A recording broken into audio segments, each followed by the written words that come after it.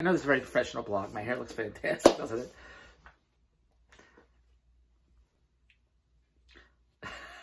I'm David Bronstein. I, I, see what I look like. my hair is stick. I was going to say my hair is sticking up. Something has to stick up. Uh, the phone is cockeyed. Look, uh, I'm David Bronstein. This is one a very professional blog. This is one-on-one -on -one and discreet with David Bronstein. Before we begin discussing how to make our billions together, I need an editor. So I'm hiring editors, content producers, editors to run the David Bronstein content.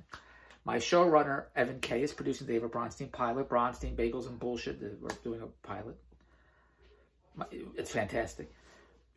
Big producers, I can't tell you too much, but but I need somebody to run my social media. Editors, content producers to run the David Bronstein social. I'm a big star on uh, TikTok. I can't believe it myself. I don't know why. I have over 100,000 views of my videos on TikTok. Here I get two views. Me and some other schmuck looking for the TikTok star. I, am hiring editors, production guys, and please give me likes and shares and uh, what is it called? Like and click my Patreon account and uh, buy my merchandise and uh, crowdfunding, whatever the hell's good. Just send some money. That's all. Just send them money. Be, I'm like Soupy Sales, right? Send, go. Send, you know who Soupy Sales is. So please uh, give me likes and and shares and thumbs up and and buy some shit on this, the David Bronstein merchandise. Look, you know what's going to happen. You know, what's and you want to be part of the, the empire. You want to be part of, of the, the startup of what the, the brand we're building, the supreme, gigantic billionaire brand we're building with David Bronstein. And I love for you all to be a part of it, really. There's enough to share the wealth in what I do. And I'm more than happy to share the wealth, but my world's like a little red hen. I know you have no idea what the little red hen is. Little red hen wanted to, how many times I got to tell you this story? The, are we rolling here? The little red hen, write that down. Everyone loves when I say that. The little red hen uh, was baking bread. He said, I'm going to bake some bread. He went to the cow. She said, want to help me bake the bread? The cow said, don't leave me the hell alone. She went to the horses. She said, want to help me bake the bread? They said, no. She went to the chickens. She went to the ducks. I'm getting, I'm getting notifications here every two minutes. People are watching my TikTok. Constant notif TikTok, tick notifications every two minutes. They like it. They're messaging me. TikTok. I'm a big star on TikTok. I'm a clock. So the little red hen says to the cow, to the ducks, to the chickens, to the horses, to the pigs, you want to help me bake the bread? They said, no, leave me the hell alone. So the little red hen said, I'll bake my own bread. So she baked her own bread. Then the chucks, the, the chucks, the ducks, the chickens, the cows, the pigs said, oh, that bread smells delicious. I love to eat it. So they all went to the chicken. They said, well, we'll help. We don't want to help you bake the bread. We'll help you eat it. And the chicken said, get the hell out of here. You didn't help me bake it. You don't get to eat it. And when I was a kid, I read that story. I also read uh, Stone Soup. And for some reason, this has been my life, my lifestyle, my business motto, my life motto. Stone Soup, a bunch of soldiers came into town. They had no food. The townspeople saw them coming in. The townspeople didn't want to share the food. The, the, the soldiers said, we'll make our own food. They found a cauldron. They filled it up with hot water. They got it from the lake. They said, we're going to make stone soup. And they put hot water in the cauldron and they put stones in the cauldron. Is that it is, a cauldron? The witches brew the cauldron.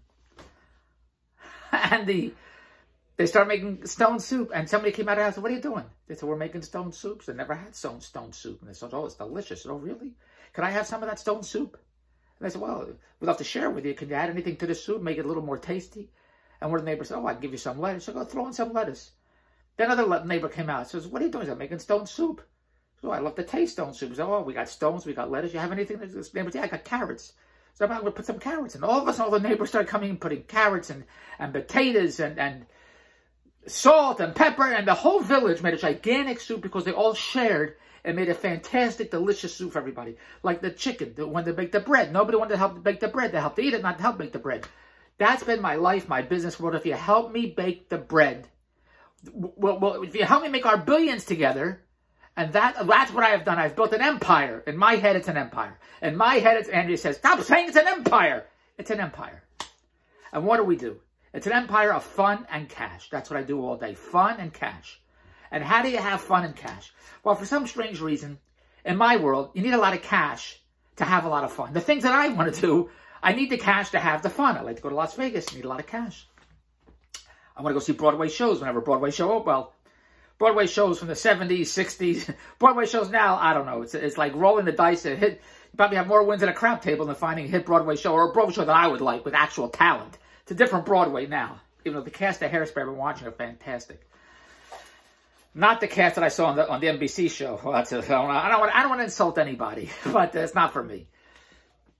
But I like Broadway. I like the Atlantis and, in the Bahamas, even though friends of mine stay in another hotel. They say I have to try it. I forgot the name of it, but I, I can only say Atlantis because I can't remember the hotel my friends are telling me to stay at.